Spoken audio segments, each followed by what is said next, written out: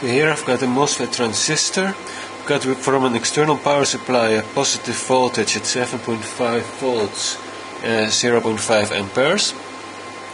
The positive voltage goes into the drain of the MOSFET transistor and then should come out at the source uh, of the transistor into this lamp to see if a current is flowing into the negative lead of the power supply.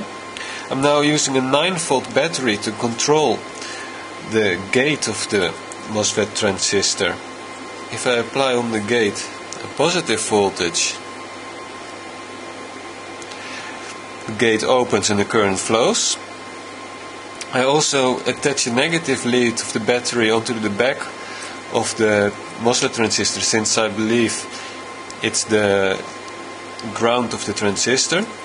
The positive lead current flows, negative lead it's off, positive flow, positive lead it flows, negative lead is off. Again, first apply the ground positive lead, it's on. First apply the negative, then the ground, it's off.